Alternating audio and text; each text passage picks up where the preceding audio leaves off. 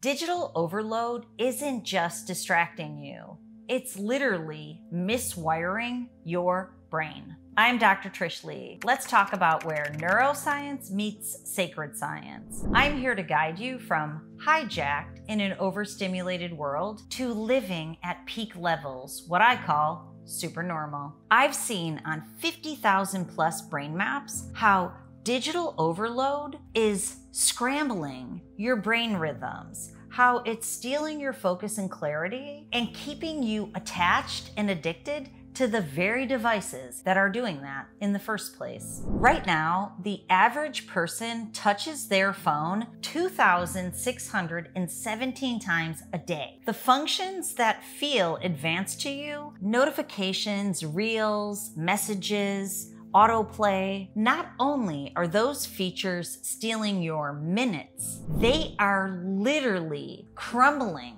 the architecture of your brain and your mental clarity. You know how? It happens like this. Your nervous system gets stuck in hyperspeed, so it's used to switching tasks quickly and frequently. But inadvertently, your nervous system also loses the ability to focus. You end up restless, irritable, scattered. You sit down to do something meaningful, and suddenly 30 minutes have gone by and you've done absolutely nothing. It's like eating spoonfuls of sugar all day long. It leaves you jittery, but never feeling sustained. Every notification is a dopamine drip, a little spike. That hit feels rewarding in the moment, but it doesn't actually satisfy. Over time, your dopamine system adapts. You need more and more dopamine just to feel. I've seen this in tens of thousands of brain maps. Instead of the brain map of green, coherence,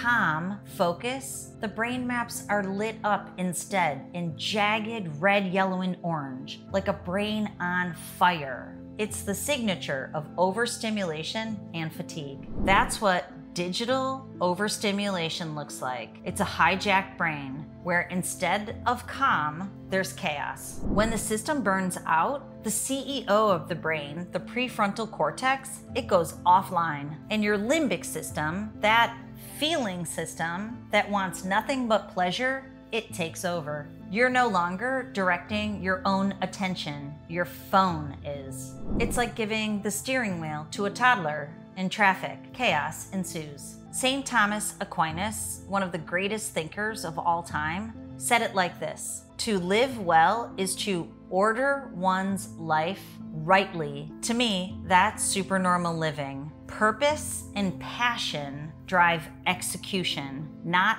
passive consumption. Digital overload scrambles that order. Instead of harmony, you get noise. Instead of right use or healthy use, you get misuse. Sacred order comes from when we use neuroscience to re-establish those healthy rhythms. Focus, rest, reflection. Without that, life feels static.